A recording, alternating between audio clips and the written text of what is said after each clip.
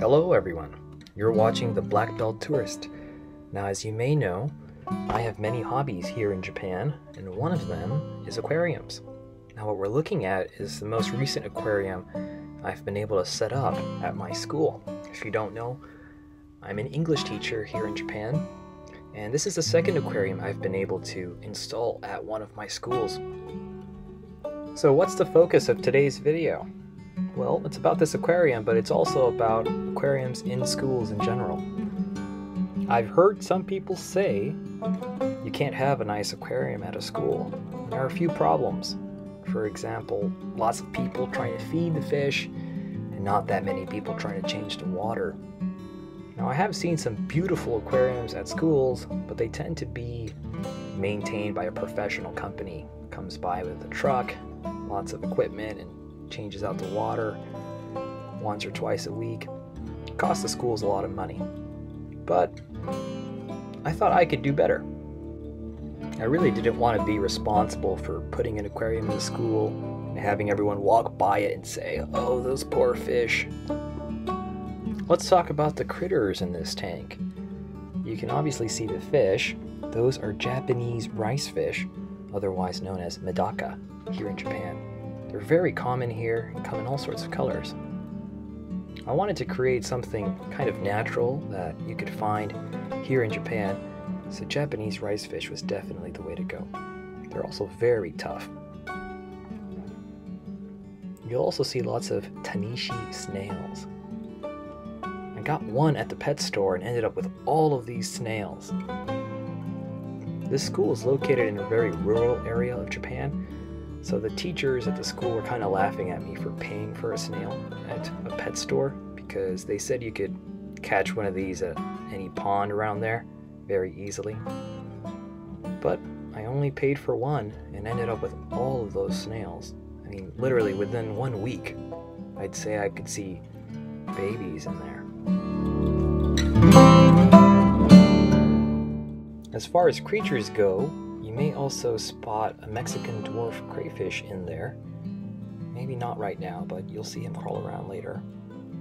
Now I chose the dwarf crayfish because this is a very small aquarium and I wanted a crustacean or something besides fish and snails in there just to give a wide variety of creatures for the kids to look at. And also I think if you were in a pond somewhere in Japan, you might see these three animals.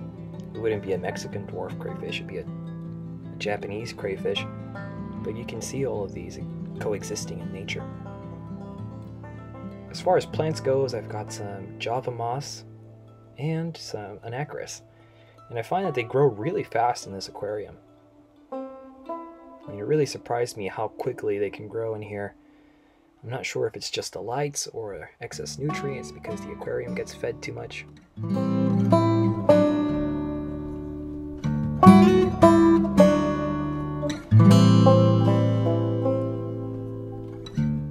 Now here we're looking at the box the aquarium came in.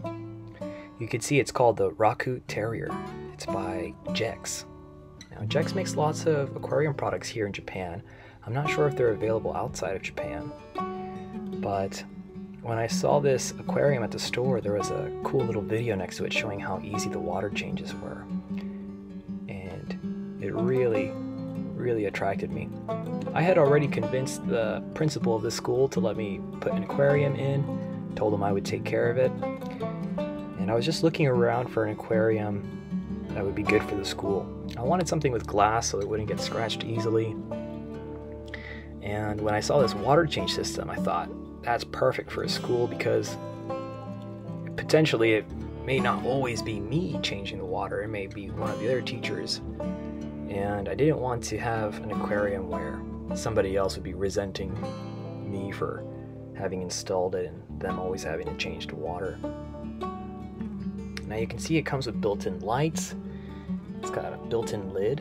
Um, I glued in some driftwood in the corner there at first, the driftwood kept floating up, and after waiting for a few months, I lost patience and cut a couple of flat spots onto the driftwood and was able to silicone it into the corner. And came out pretty nice, I think. It's also got some Java moss glued onto the driftwood. Now before I start a water change, I like to use this little turkey baster looking thing to kind of blow up some of the poop that's stuck on the bottom of the aquarium. I think this syringe is originally designed to suck up lots of poop, but I find it works very well for blowing it around. Here you can also see the crayfish, he's down there on the right. Now getting this poop up into the, the flow helps the filter suck it up. Now here I am about to start the actual water change. Now one of the things I really like about this is that I don't have to open the lid of the aquarium to change any water. I don't need a siphon. The pump itself is getting the water out.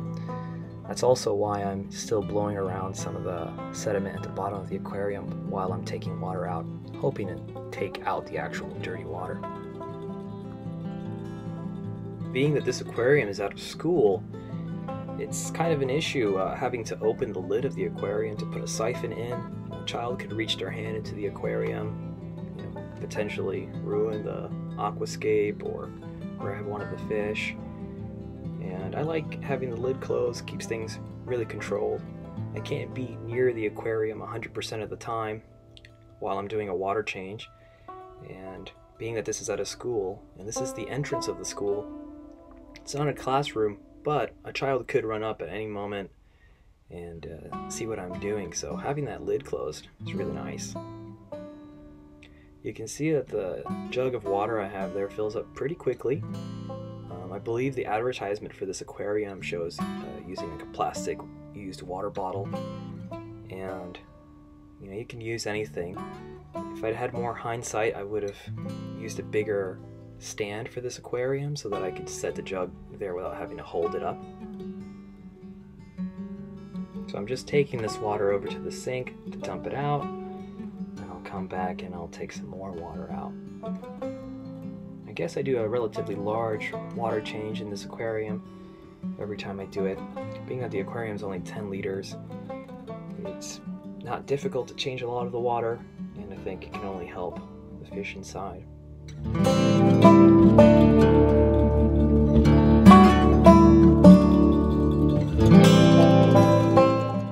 Now here I am finishing up the last part of the water change and you'll see that I actually have a piece of white electric tape holding the lid down on this aquarium. That's enough to keep the kids from lifting it up. And I'm opening the aquarium now just to service the filter. You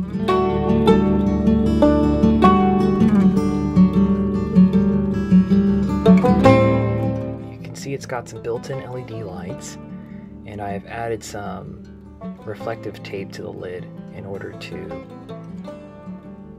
try to get some of those light waves to bounce back down. Now I've got some filter floss I add there at the last part of the filter and this filter is actually hot rodded inspired by a video by Aquarium Co-op. If you're watching Corey, uh, thanks for the inspiration. Um, it came with these little filter cartridges that had some carbon in them, but they're expensive and you know you can fit a lot more sponge media in there than they want you to use. There's also space inside for another, for a heater or something like that, which I wanted to do initially, but the principal of the school didn't like the idea of uh, using up any more electricity. So on top of the pump in there, there is some more sponge media just to serve as biological filtration. I actually had the idea of adding some more waterproof LED strips inside of the lid to really make a nice bright aquarium and get some plants growing in there. But like I said, the principal really wasn't keen on using any more electricity. I guess the every penny counts, or yenny if you're here in Japan. Know, I'm adjusting the little cubes. Uh, I like to leave them in there. They're sold for cherry shrimp, I believe. I just like the way they look, and it's out of school, so kind of looks like there's a child in there playing with some blocks and every time I do a water change I put them back in a different way so it kind of looks like somebody's left their toys out. Now here I'm pouring the water in through the, the feeding hole in the lid So if I was just changing water and I wasn't servicing the filter, I could do this whole thing without uh, lifting the lid at all. Now, if you're interested in having this system but you don't want a small 10 liter aquarium, I believe GEX sells a similar filter that can drop into any existing aquarium and has this little pop out spout to help you with water changes. This might be a good time to mention Daiso. If you don't know what Daiso is, it's a chain of 100 yen stores here in Japan, and they sell lots of things. I got this water jug there. I also get the filter floss, that syringe uh, or turkey baster looking thing I was using earlier came from Daiso. I even get the fish food, dechlorinator, crayfish food at Daiso. Now it's not a pet store, but that's just their pet section.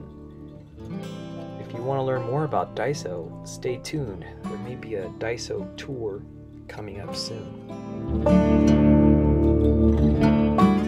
If you're interested in purchasing this aquarium or the filter I mentioned earlier, check down below in the description for an affiliate link. It'll support the channel and I'd really appreciate it if you purchase through there. Won't cost you anything extra. It'll give a little bit of a tip of the hat to the black belt tourist. If you're in the States, you may have to use a proxy to get it shipped to you. If you're in Japan, it should be no problem. This aquarium was shipped by mail to the school. Look into it. The filter may be really easy to get shipped to America.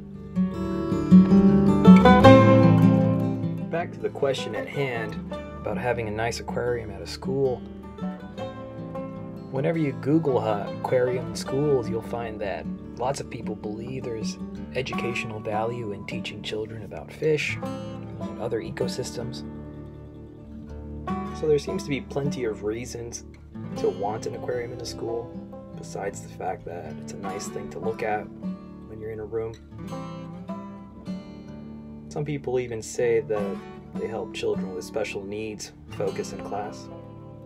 So I suppose the real question is is it worth all the trouble of maintaining the aquarium to get those benefits? I think with a system like this, it can be You can see the little crayfish down there. He looks happy with the water change, crawling all over the place. And the fish look happy too. That's it, everyone. Thank you for watching if you made it this far. Remember to click the like button, comment, and subscribe. Really appreciate any feedback. I think I'm maintaining this aquarium pretty well the school, all things considered. Can you have a nice aquarium out of school? Maybe yes.